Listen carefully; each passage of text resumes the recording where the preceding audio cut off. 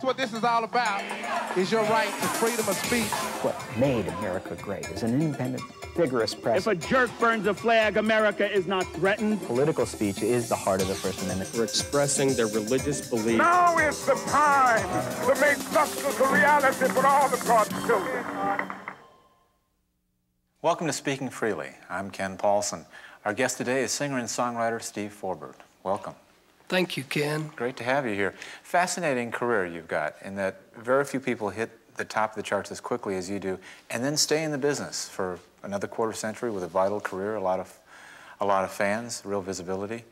Um, was that first big hit, Romeo's Tune, a, a blessing or a curse for you? Oh, definitely a blessing all around. No problem. In fact, you know, it's a lot of the, you know, it's some of the reason I'm still able to tour and play as much as I do. You know, it's some sort of an identity factor. Um, and that's good. I am glad it happened. It's never been uh, any kind of a negative. Well, there are artists who have a single top 40 hit and they go, I cannot sing this song anymore. You know, and it's something you feel burdened by. That's never been the case for you. No, I mean, the, the Romeo's tune, the one I had success with uh, to that degree, is um, you know, it grows with me. It's it's flexible. It's okay. You know, um, and I I still relate to it. So it's no problem to sing it. To, you know, I'm I'm sort of required to sing it in every show, but it's not a problem. At age 21, you left Meridian, Mississippi, and headed for New York. What did you have in your head? What did you expect was going to happen for you? Well, you know, I had put all my eggs in one basket. I wanted to uh, to do this and so that was all that was in my mind about it. What would what I expected would happen would, you know, if you told me I would be touring and playing acoustic guitar and singing my own songs at 25 years from then, I would have said absolutely. You had a your big hit was on your second album, and then you had a couple more albums on major labels, and they didn't sell as well. And then then came a period in which you had battles with your record company and things didn't work out so well for you. In fact, it was a number of years before you could record again, isn't that right? Right. We don't need to relive the litigation, but, but it, it just, it seems like when we talked about blessing and curse, that that might be the curse part of it, that, that once you had a hit, there were expectations that you would have more, and probably a lack of patience for the creative process. Is that a fair way to describe it, or? No, for me, I've got a lot of uh, hindsight on it now, and I'll just uh, really, to be honest, um, I think what what happened with me was more of a my really essentially my own fault because I um, I kind of got a little caught up in in trying to you know make records that as times changed, I kind of wanted to stay in the game then, having had a hit record and all, and I kind of got my priorities a little upside down. And um, and actually, the record that I made that got me in trouble and was not released, I, have heard some of it lately. I don't think it was really very good. Then I had to kind of go into the wilderness for a while and regroup, if you will, because. Um, I'd kind of lost the plot in a way, and I don't really mind that that record didn't come out. The ones before it were okay, some were better than others, but then I needed to kind of get away and, and, and get back to the heart of the matter. Um, and I, I, had to do that for a few years, but um, I, th- I think it kind of, I kind of had it coming. Mm. Yeah. It's, it's kind of a different take on the thing, but that's, and who knows? I mean, I might have put that record out and realized it wasn't what I should have done, or the response might have told me so, or whatever. And I might have um, made an, a wonderful record right after that. But that wasn't the way it went. I had to go and take it all back to square one and just play for the love of playing and um, travel everywhere and just, you know, kind of regroup and start it all from square one again. Well, you're the one artist in 1,000 who doesn't blame the record company. There's too much of that. It's getting a little off balance there, all this critique of record companies. There's so many people who are able to do so well because of the initial risk a record company took on them. And you have to invest a lot of money, not only to make a record, but to promote it with any kind of, you know, commitment. And people can't afford to do that on their own. There are a lot of people that enjoy careers now with independent labels and things who wouldn't be there if it wasn't for a major label that took a, a big chance on them at one time. And um, I think a lot of times there's a little bit too much complaining about record labels. So how did you come out of the wilderness? What, what manifested from that period of reflection? I made a record called Streets of This Town. It came out on the Geffen label in 1988. So that, that really shows you what came out of it.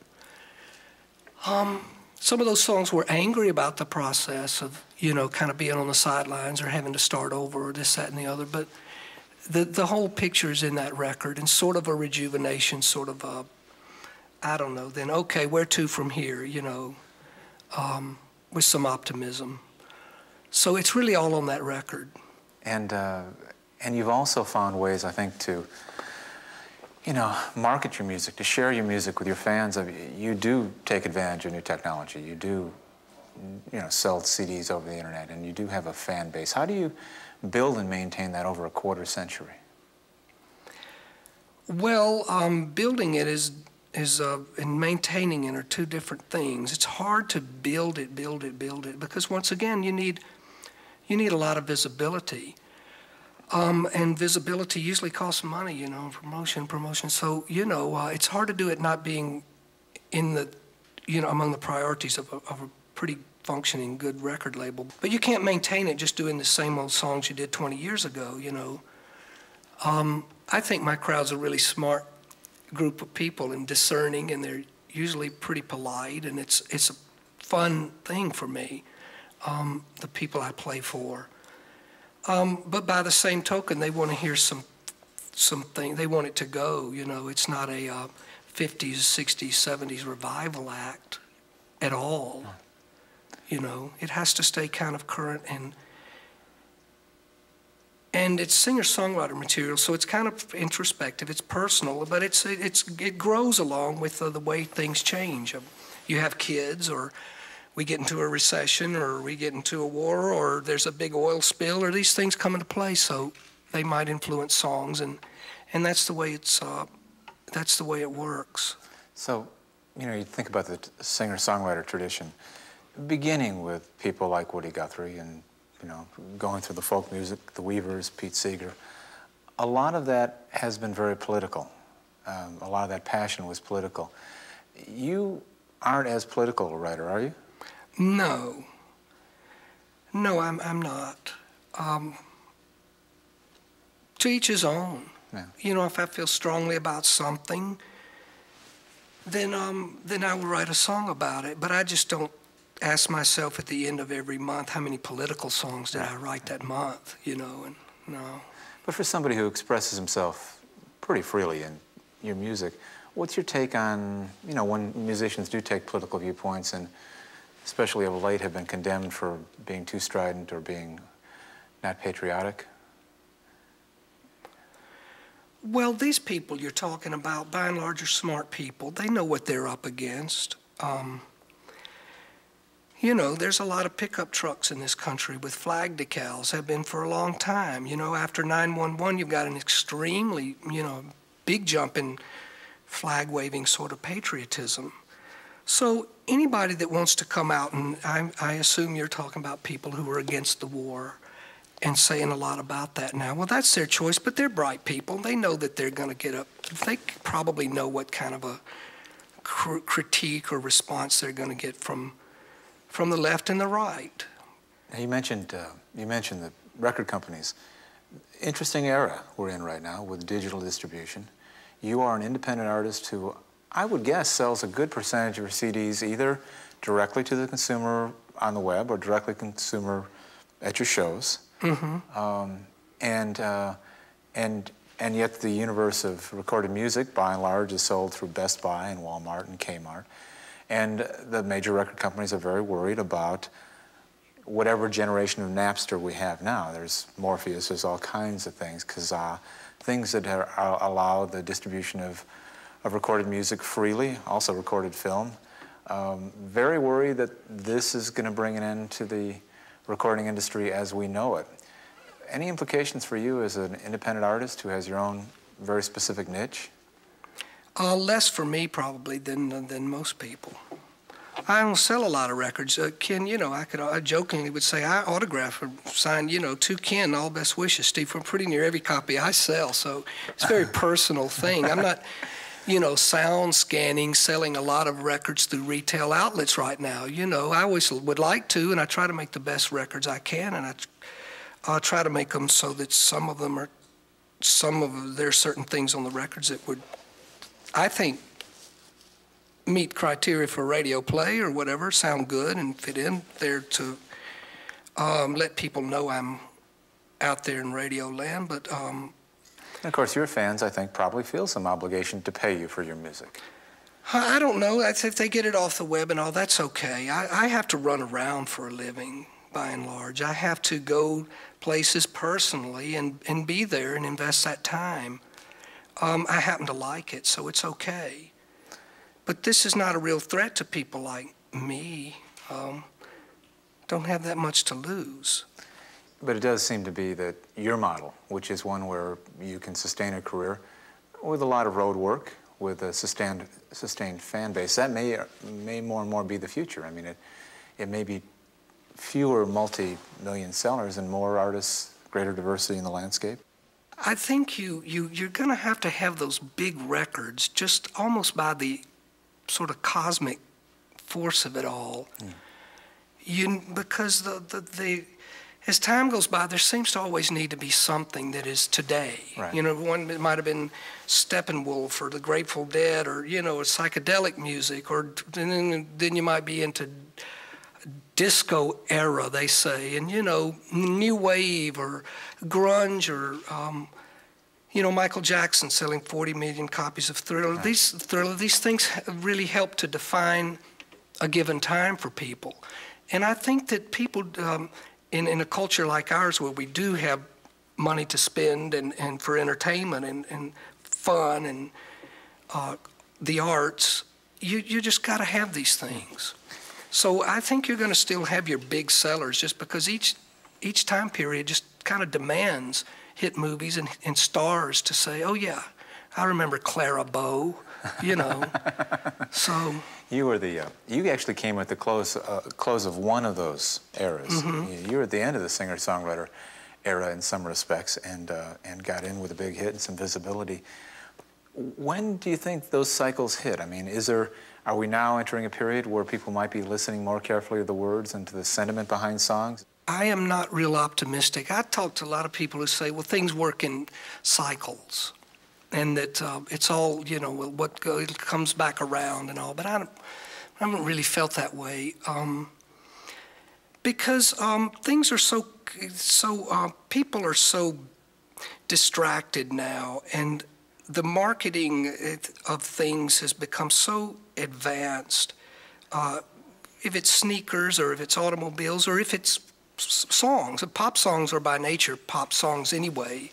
You know, it's a little bit funny to talk about it, but they've gotten it down to really marketing it so in such a sophisticated way, and they tend to, and to do that, you have to find the lowest common denominator. So, you know, there's a lot of people out there, and your more discerning people are going to look for, they're going to look for things that appeal to them, and they're going to be more critical, and they'll find more interesting things to, to like and be a part of you know but but generally it's kind of a dumbing down process you find a way to appeal to the most people in the fastest way and that's what if you're selling records that's what you're going to be kind of pressure on you to do Your music has so much joy in it, and I mean, it really does. And stuff with the rough squirrels, and and yet I'm hearing you, and you're saying, you know, you're selling door to door your CDs, and you don't see it getting better.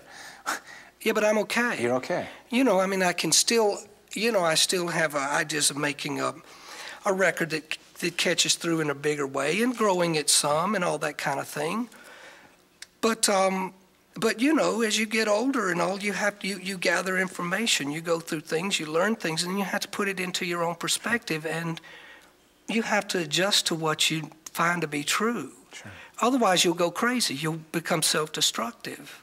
And because you just you can't make that adjustment you're just you let it make you miserable you know that's not good Let's talk about a very cool project of yours, uh, a tribute to Jimmie Rodgers, also from Meridian, Mississippi. and uh, you know, a, a wonderful CD that uh, is your own take, not certainly not an impression of Jimmie Rodgers. Hmm. How did that project come about, and why why did you have a passion for Jimmie Rodgers?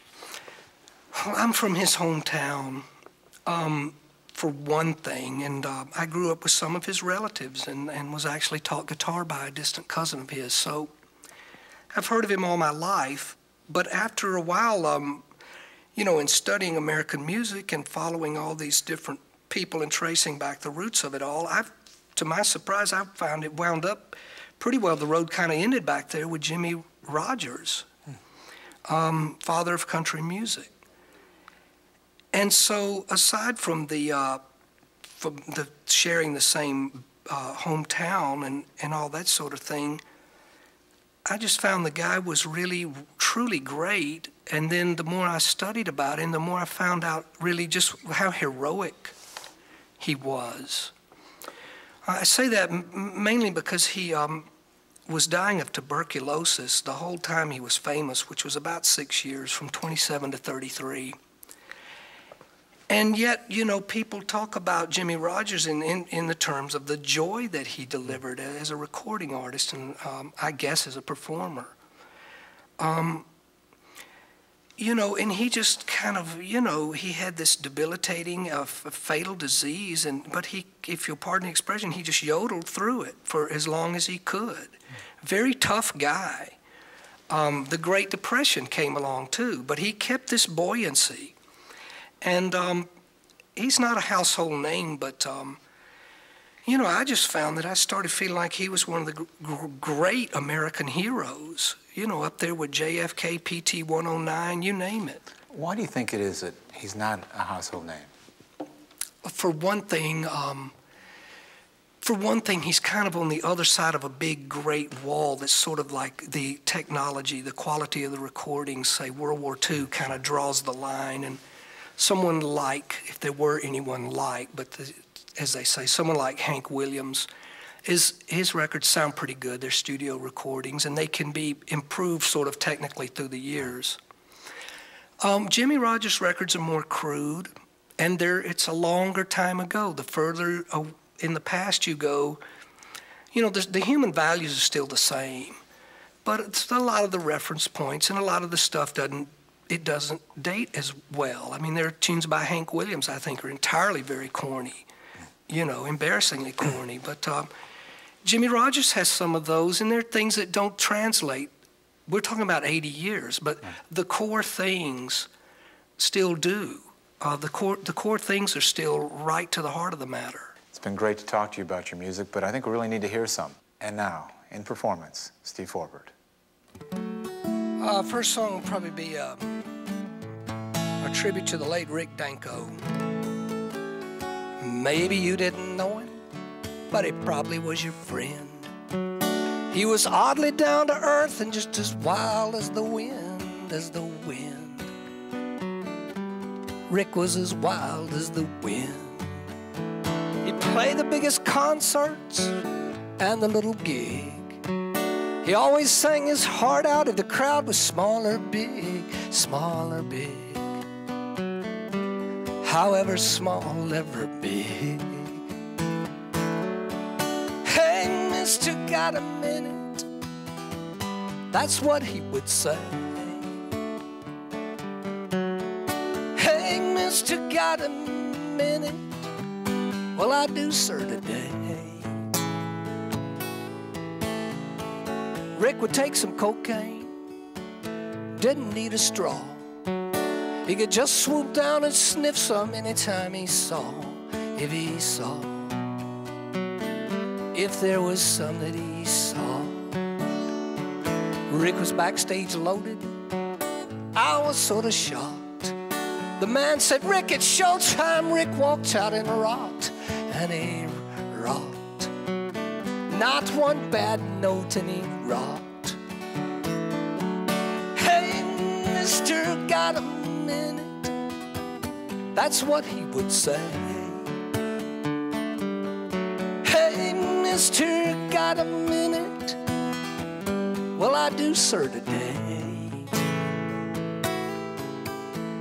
There's a certain kind of free heart that's never bought and sold. There's a certain kind of wild child that never should get old, getting old. Who Picture Rick getting old. Maybe you didn't know him, but he probably was your friend. He was oddly down to earth and just as wild as the wind, as the wind. Rick was as wild as the wind.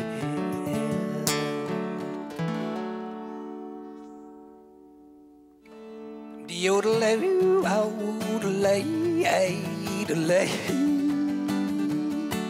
For years and years I rambled, I drank my wines and I gambled. But one day I thought I would settle down. I met a perfect lady. She said she'd be my baby. We built a cottage in the old hometown. The yodelay.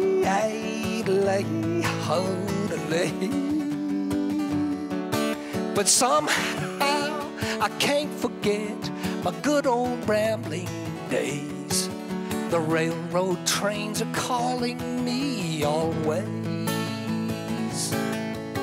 I may be rough, I may be wild. I may be tough and counted vile, but I can't give up my rough and rowdy ways. Yodelay, yodelay, yodelay. Sometimes I meet a bounder who knew me when I was around her. He grabs my hand and says, Boy, have a drink. We go down to the pool room. We get in the gang and then soon the daylight comes before I've had a wink. Yodelay, yodelay, yodelay. But somehow I can't forget my good old rambling. The railroad trains are calling me always.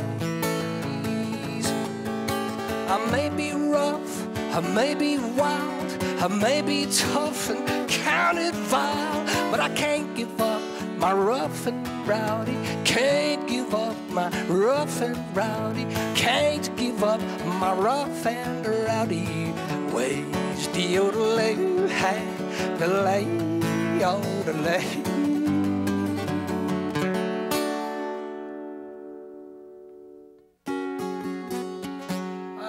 a lonely little old man. It sure was better back then.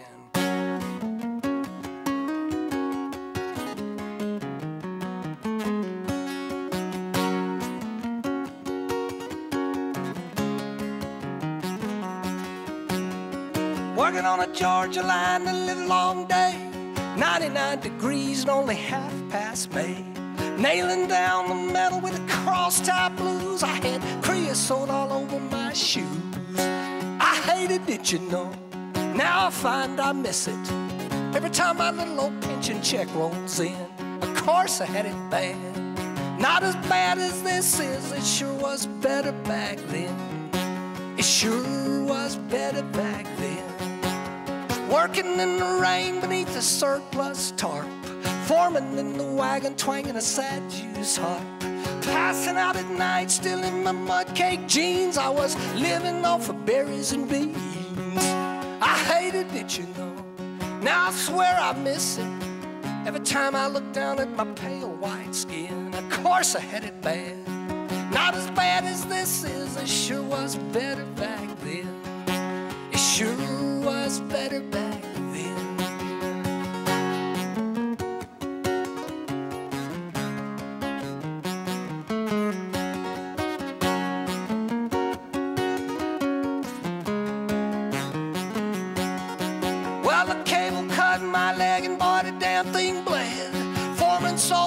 muscle up with tar patch thread. Send me by the camp, gonna help the cook clean pans and scrub them down with Georgia red sand. I hated it, you know. Now I really miss it. Staring at my TV till the broadcast ends. Of course I had it bad. Not as bad as this is, it sure was better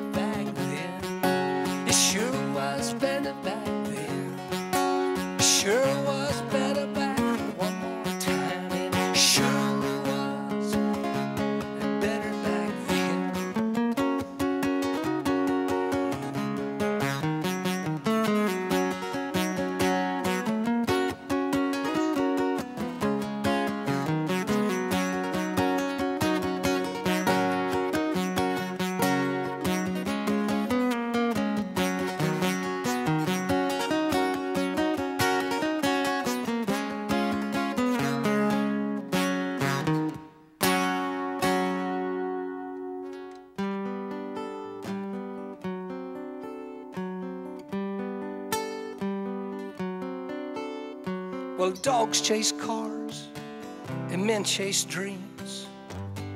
And the dog is the more practical, it seems. But a dream can help a person to get up and out of bed. And for this, I'd say there certainly still is a lot that can be said about a dream. Up in your mind, something you wish, hoping to find about a dream. Something you want, maybe maybe you don't about a dream.